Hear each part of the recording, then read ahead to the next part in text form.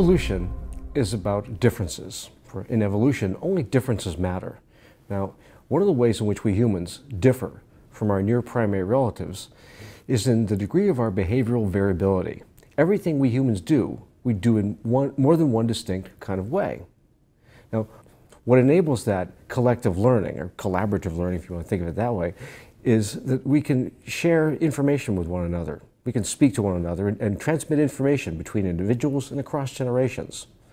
Speech and spoken language um, underlie that ability. And so the origins of language, or the origins of spoken language, are major research questions for human origins research. This engages the attention of archaeologists, physical anthropologists, and geneticists. Now, we archaeologists look for evidence of language in variation in the forms and, and, and the techniques used to uh, make stone tools. The first point in the archaeological record where we see the kind of pattern variation among stone tools, similar to that which we see in, in spoken languages nowadays, is about 250,000 years ago. Prior to that, stone tools looked more or less the same from one end of Africa to the other and, and across continental scales. After about 250,000 years ago, the stone tools made in South Africa began to look different from those in East Africa, and those in East Africa different from the, from the stone tools in Europe and in Asia, and so on.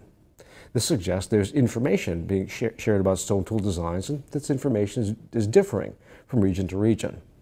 Now, around 200,000 years ago, more or less the same time on an evolutionary scale, we see changes in the human skull human skulls begin to look like ours, which have a flexed bottom. And, and the flexed bottom of the skull enables people who have that characteristic to speak, like I'm doing now, to, to break sound up into very short bits and to communicate effectively.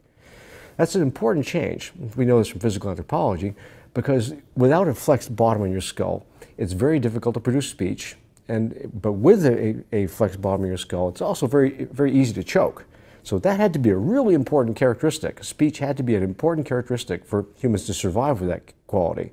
That tells us that before that property emerged, there was some precursor to spoken language, something that actually doesn't exist any longer because we all, all humans can speak who have this, this quality.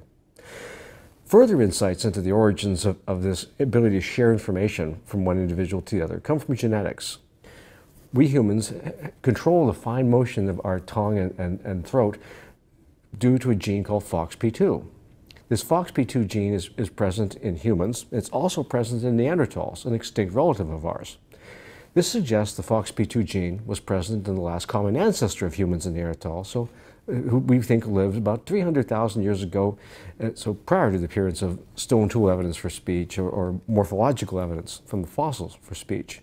Thus, together, archaeologists, paleontologists, and geneticists work together to understand the origins of a very distinctive quality of human behavior, our degree of behavioral variability.